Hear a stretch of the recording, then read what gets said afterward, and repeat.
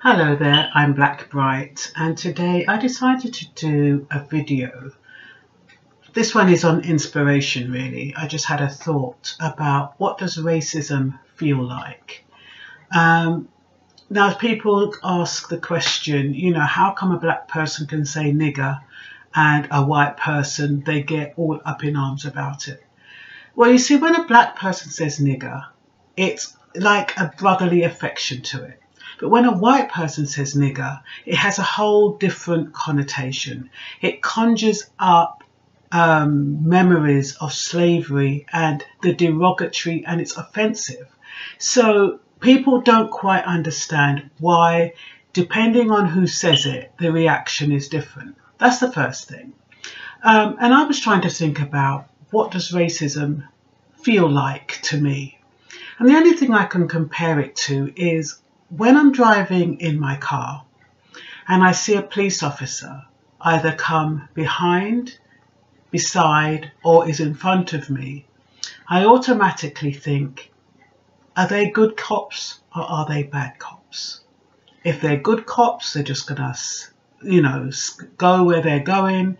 If they're bad cops, they're going to look for an excuse. Especially if I've got my old man in the car it's even worse. Sometimes I think, oh, you know, what will they be stopping us for if they stop us? And the funny thing is, is that why that brings about racism is because if it's a bad cop, it doesn't matter if you've done something wrong or not. You have this sense of um, agitation inside. And racism comes from fear. And those who are racist actually fear um, black people, which is why they're racist. And the black people who are affected by racism is because they're not sure how that person is going to react to their fearfulness. And so, and they've got no control it, over it. As black people, we have no control over racism. We have no control over the way people think, the way people behave, and how they're going to behave in a different situation. Sometimes I think to myself, you know, if you know, like you have mixed relationships. And I wonder to myself, you know, God forbid um, the Ku Klux Klan came to all these mixed couples and said, listen, you are either going to um, come with us or we're going to you you die with all the black people that you've chosen to be with. And i often wonder in that moment what what would their choice be? As much as they love their black brothers or their black sisters what would their choice be in that moment? It's fine when everything's going good and you can moderate the racism in your little areas that's fine. But if the if um, push comes to shove what would happen in that moment? And that's what to me racism feels like. It's that sense of being unsure. It's that lack of control over people's behavior, people's attitudes, and people's ignorance, and not quite knowing what to do about it. You know, I've had many times when I'm walking next to a lady and I see her pull back and I feel responsible.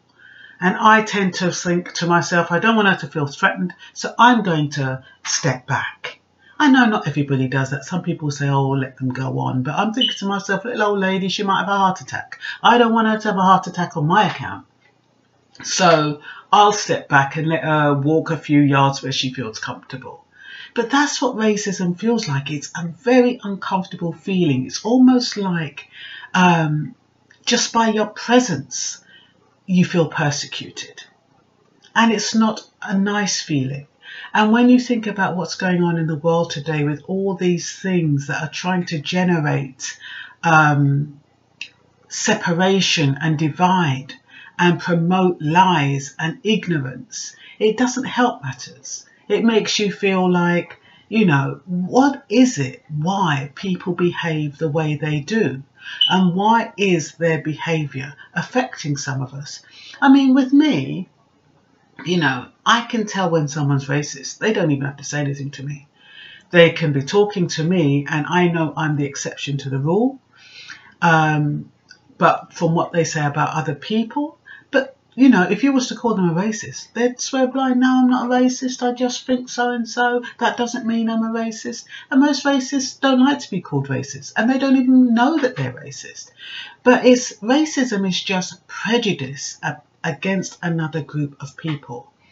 And, you know, and it's like a blanket you know, you, it's like one cap fits all. You don't think to yourself, oh, you know, there's a few good ones in there. No, the whole of them, you judge them all the same. Anyway, what did I write down? I wrote down some reminder points. Um, oh, yeah, I was just thinking, you know, like when the police are driving behind, whether I've done something wrong or not, it's almost like I start remembering everything I did from way, way back and wondering whether or not they can criminalize it, whether or not they can pull it up, whether or not this, whether or not that. You know, sometimes you think, oh, did I pay that parking ticket? You know what I mean? Or sometimes, you know, when we had the tax sticker on the car, that would remind us when tax is due.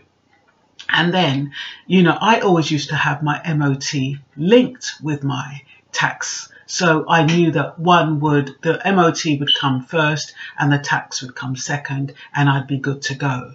Now I don't have the tax reminder, thank God DVLA have got this reminder service, but before they had the reminder service, it was left to my own devices. And I remember once I forgot to um, do my MOT for a couple of months. And I'm thinking to myself, you know, when you're driving and you see a police officer, it's like things like that come into your mind. Did I MOT my car? Is my is my um, car taxed? Um, did it, you know when I was doing all those um, insurance, looking for insurance on those compare sites, and I chose that one, and then I decided to choose another one. Did I actually activate it? Is it active? And it's like all of those things come into your mind just because, well, into my mind, just because a police car is either pulling beside me or is behind me. I mean, you know, thank God, you know, most of the time now I've got direct debit for my, you know, for my tax and stuff like that, and there's reminders in place, so there's no real excuse for those kind of things. But I'm just saying, you know, what it does when you're when you're when you're approached by a police officer. And, you know, to be honest, I work with the police in certain areas, but, you know, it's, and there are, so I know that there are good cops but there are also bad cops. And every day I just pray that either my old man doesn't get stopped by a bad cop or I don't get followed by a bad cop. I remember once I didn't have my um, seatbelt on. I was actually I was on the phone at first. I was leaving work. I was on the phone, and um, I thought, okay, um, let me stop the car and talk to the person who had called me. So after a few minutes, I put the phone down and I drove off didn't put my seatbelt on and I didn't have one of those cars that beep, beep, beep, beep every time you haven't got your seatbelt on. So I'm driving along. Next thing I know, these cops are behind me. And I'm like, why are they behind me? Why are they following me? And then the next minute, you know, they do that thing, pull over, pull over, pull over. I'm thinking, oh, bloody hell. But the thing is, there'd been a murder in that area where I was working. So I'm thinking to myself, well, maybe they're just doing this checkout thing.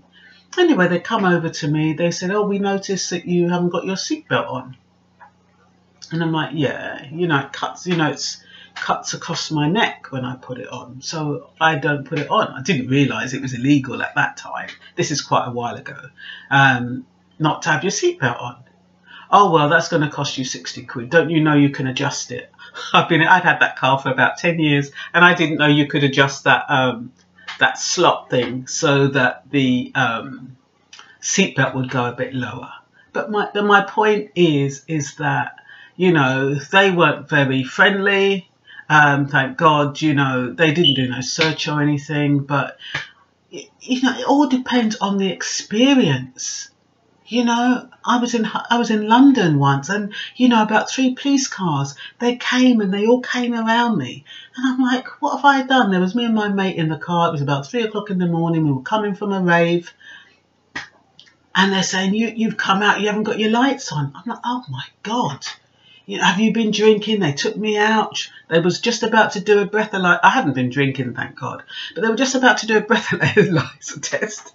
Next thing you know, they got some call. Some God is good, you know. They got some call, and they had to go to something a bit more exciting. So they drove off and left me there. They said, "Oh, just make sure you put your lights on." But they were ready. They were ready, man.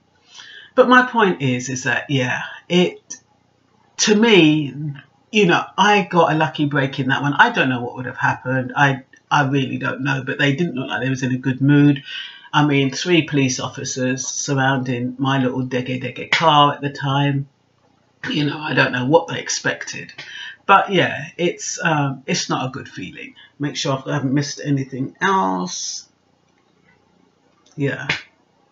Yeah, so that's it really. I just really wanted to, um, you know, know if that, you know, if my experience is what your experience might be with regard to racism. I mean, I know some people have some really direct um, forms of racism, you know, have been directly affected by racism.